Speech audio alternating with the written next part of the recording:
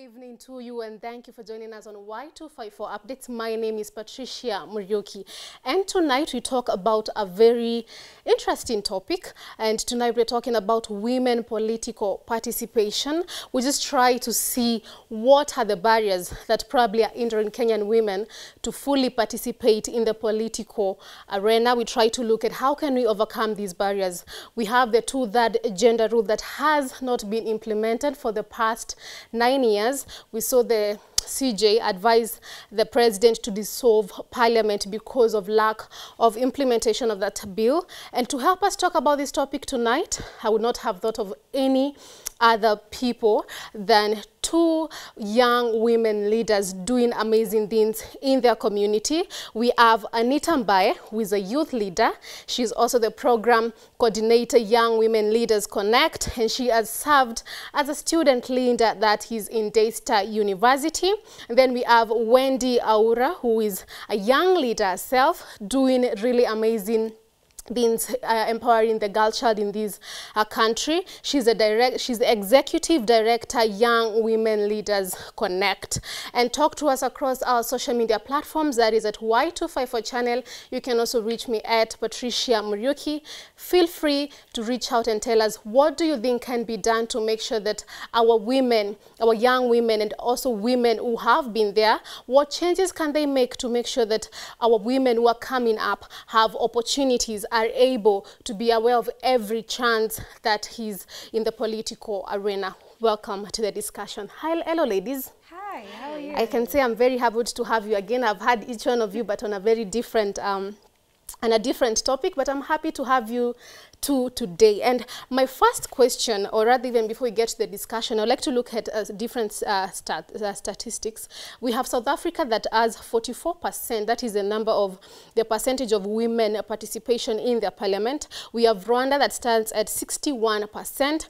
And then we have, as of 2013, Kenya was at 19.48%, but there has been an increase that is uh, looking at 20, the, the 2013 election to the 2017 election, uh, there has been an 18% increase in terms of women participation. What are your thoughts? Let's let me start with you, Anita. What are your thoughts on women leadership in Kenya? And as much as today we are focusing on politics, probably you can give that um, opinion cutting across all sectors. That is also corporate.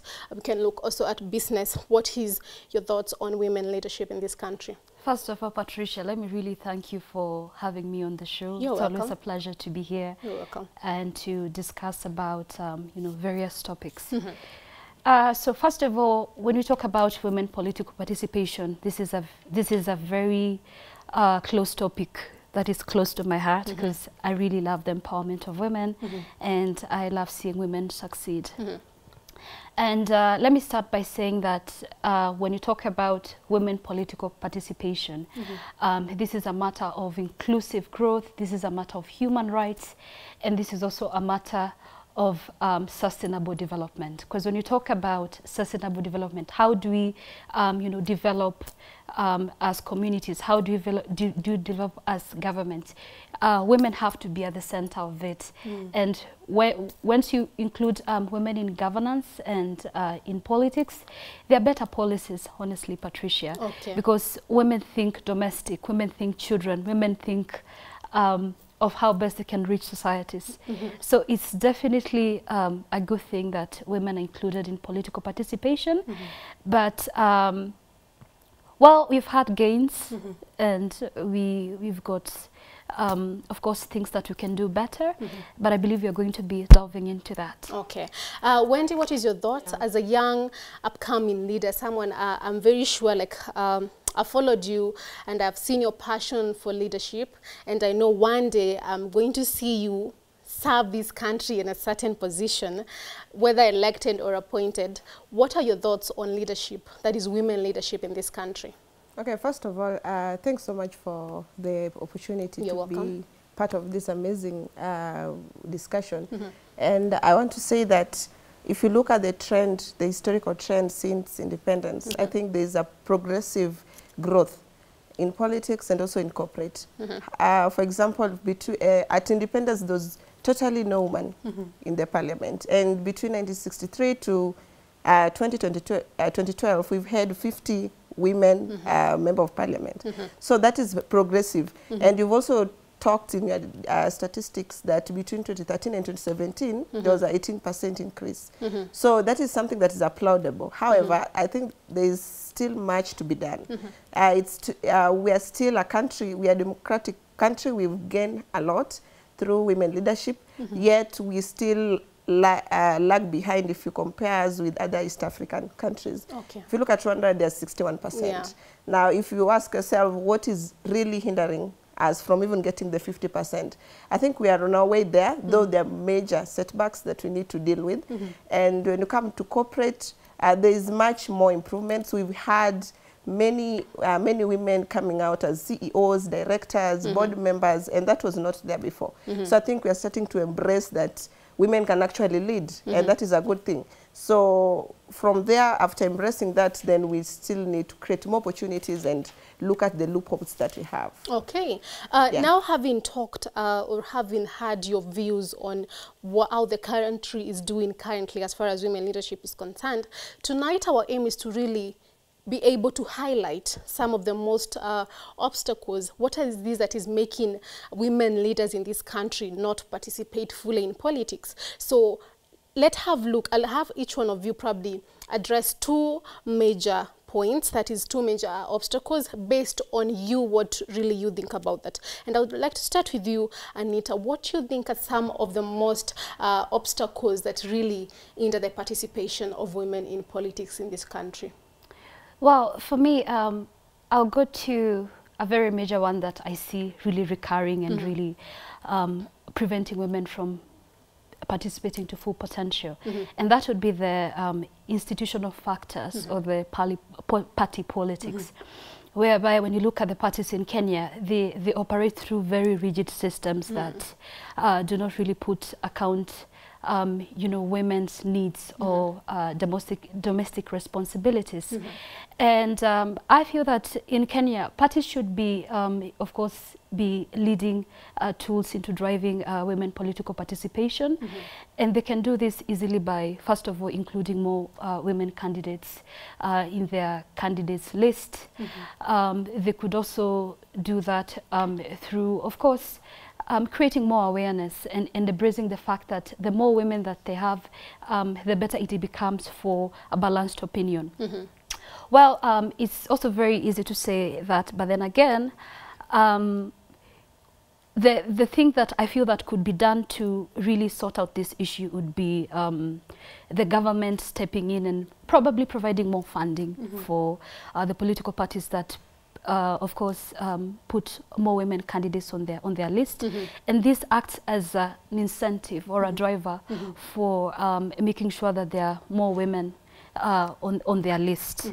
But then again, um, we've also um, I, I mentioned earlier that these parties also operate through a very rigid system because they probably fear you know losing power or maybe the supporter you know base and eventually losing political power. But i think we should eventually come to realize that um, women are not a threat um, the more women you have um, again the better the balanced opinion there is.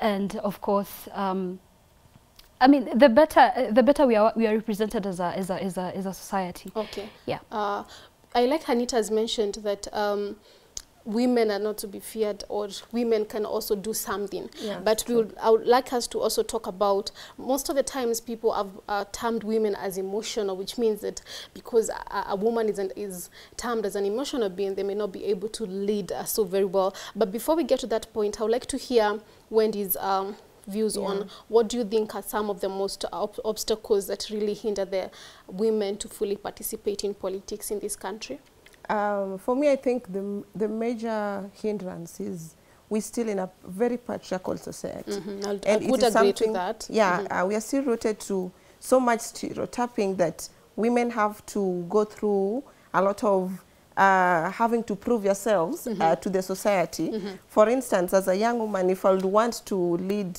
uh, to maybe talk about my aspirations, mm -hmm. first of all, they'll be talking about my marital status. Yes. They'll be asking, where are you married? How many kids do you have? Uh, why won't you vie at your husband's place and, and not your home? So you that that makes you wonder if my, how is my marriage going to provide the leadership? If I want to vie to to be an aspirant. I'm coming on board because I believe I'm a leader and there's something I need to change in the society.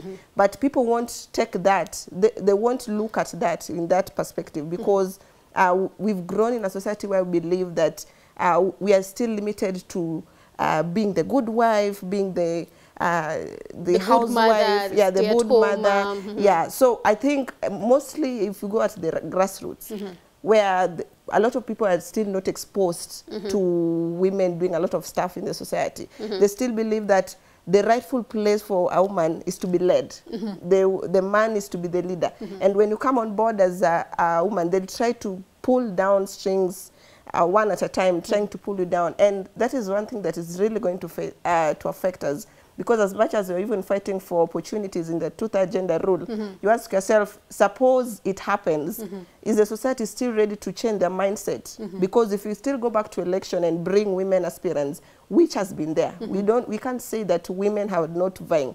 They We have many women who are really running for office.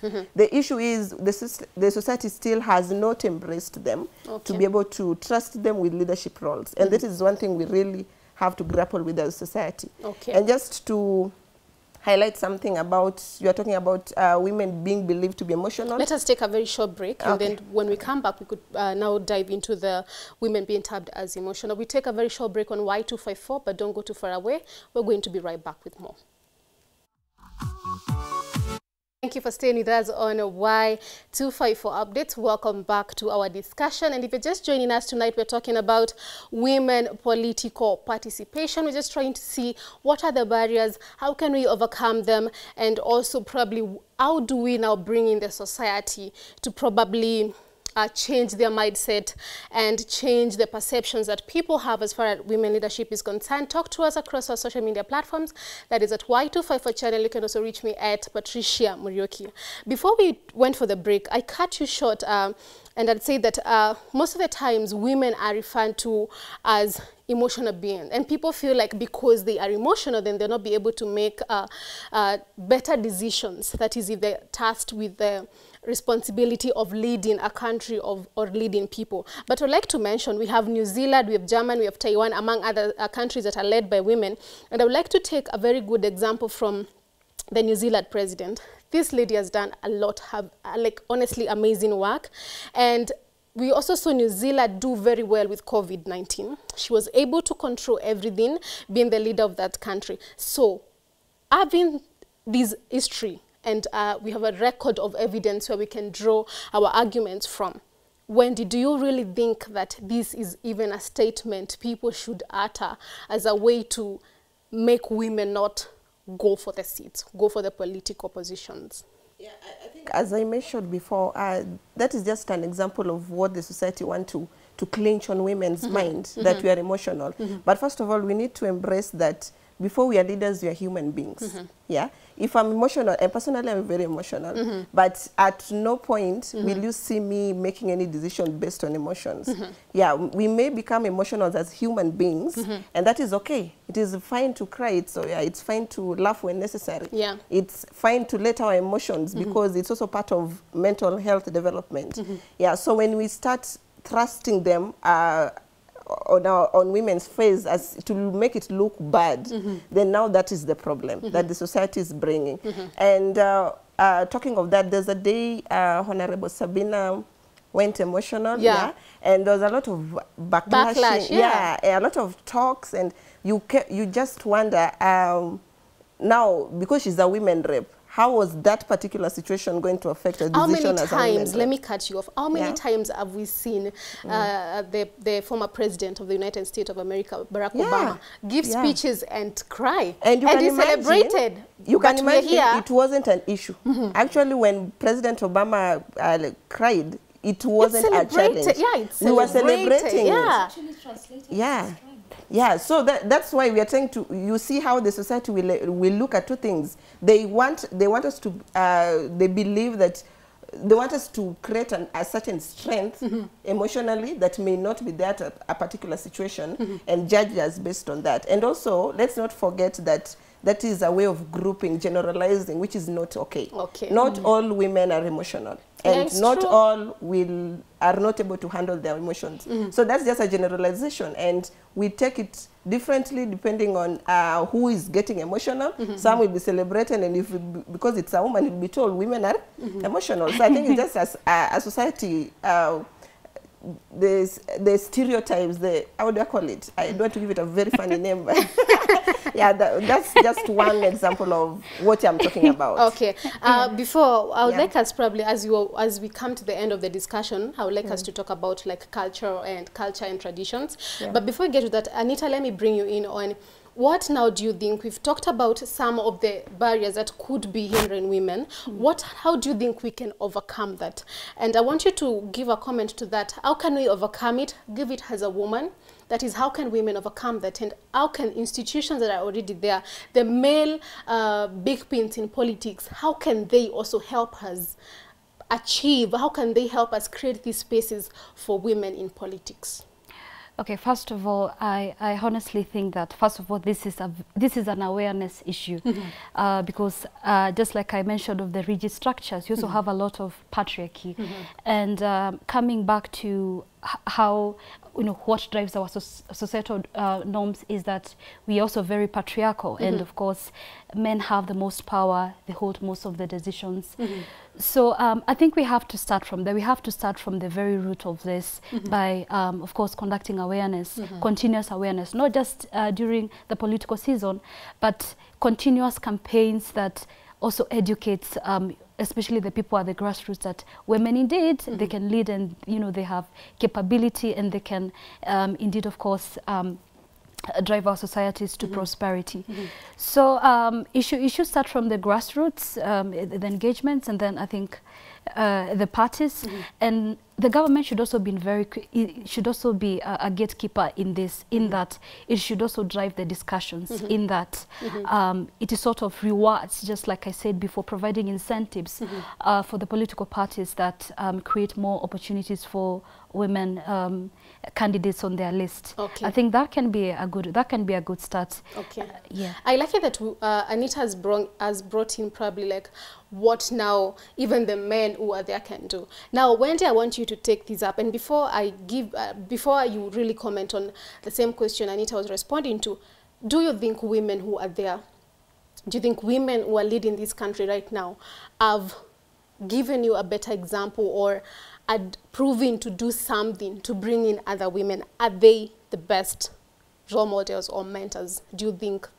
Yeah. Would you say that? For me, uh, for me, I think uh, we can't generalize. We can't put all of them and say we have poor women leaders or we have the best. I think we have uh, both sides. If you talk about mentorship, it will be it depend with which leaders. What are they doing to ensure that they create spaces for mentorship? Okay. We have some who are very who have really come out to to create those spaces and participate in uh, mentorship uh, mentorship uh, programs. For us, for example, at Young Women Leaders Connect, when we started the webinar on women and politics, we've been having women leaders. They're coming on board every two weeks on Wednesday, and that's just an example that they're willing to share the experiences. They're willing to to show the way of towards young women how we're supposed to do that. So I can't say there's just one general um, uh, parameter that you can use to uh, to gauge their their strength. And also when you look at the past the the past info tracks, the first uh, the analysis of the performance, you find we have women leaders who are in the top. We Yeah. have uh, Honorable Gladys Wanga, among others, who are in the top list. So this is just a, an indication that uh, we have those who are really doing well, and they deserve to be uh, uh, recognized. Okay. But at the same time, I think we have also uh, instances where people feel that women leaders need to do more and do better, especially uh, when things in the society happen. For example, when, recently when the the yeah, the woman at Pumwani, Yeah. she gave birth just at the gate, Yeah. and then we come we have the women leaders coming on board and speaking about it, but uh, people feel that we need to put more energy mm uh, when talk about maternal health, mm -hmm. the same way we are giving the same energy when mamangina was uh, was yeah was attacked by Honorable Sudi. Yeah. Yeah. So I think uh, for us we, we need to to look at both and not look at uh, this is much weighty situation. Mm -hmm. This is this is a, a more important person in the country, yeah. but we need the same vigor, the same energy that we are using in a Mama situation situation. The same organi organizing uh, strength and skills to come out as women leaders. I think that's just just a challenge that we need to to uh, pop out and also challenge them to do better. Okay. Yeah. Maybe Patricia, to add on um, what Wendy is saying, I would probably add that uh, these women also cannot function in a vacuum. Yeah. We need to, young women or women who wish to be mentored should also come forward. Mm-hmm. Because at the end of the day, these women also have responsibilities. Yeah. You also have to show the will to be mentored and to, you know, to be available for them to also reach out. Mm-hmm. Because honestly, if, if, if, if, for example, no one showed up for help, mm-hmm. how then, where do you start from? Yeah, that's, very true. Yeah. So Okay, so now as we wind up, as we prepare to leave and go home, uh, we have culture, we have traditions, we have uh, the society that is our best teacher, and the society says this, the society says that. How can we now um, create a balance? I would say create a balance. How can we bring in the society to know that if a woman leader uh, probably wanted to be elected today to lead this country, we have many people like these are the terms most people say. Mimi siwezi ongozwa na mwanamke. Mimi siwezi vutia mwanamke. How do we bring those people with that mentality and tell them these women also have potential? These women can serve you and these women can bring change. Wendy let me start with you. Um, I think as Anita mentioned before, mm-hmm. there is need for more civic engagement, mm-hmm. especially at the grassroots, mm-hmm. because that's the that's where the problem comes, and that's where the problem starts. When we start thinking of uh, what what the society has been thinking mm-hmm. traditionally, Uh-huh. and also we need to embrace that the world is changing. yeah true. The same 2020 we are in right now, mm-hmm. maybe 10 years, no, not even 10, let me mm-hmm. say in, in 90s, 1990s, things were different. Uh, we had different uh, scenarios, different opportunities, we had different platforms for women. But now things are changing, the world is starting to embrace things. And also cultural-wise, Yes. we have some cultures that are now backdated.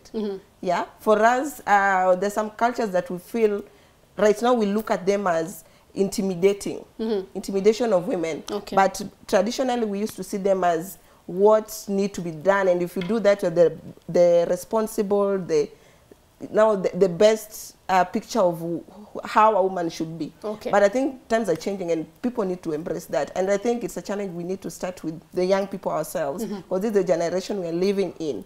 So, for example, if we need more advocacy and the young people to come on board in advocating for more women uh, uh, participation in politics. Okay, uh, thank you very much. I would like Anita for you to comment on uh, intimidation. How can women uh, deal with intimidation? Now, you are a young person, or whatever age that you are, you're a woman who wants to lead uh, in a certain, in certain positions in this country. A very short. Um, opinion or a very short advice. How can women watching us tonight how can they deal with intimidation when that time comes for them to face people in political positions or whether in the corporate sector and people are saying things that do not please them? How do i deal with it as a woman as we wind up?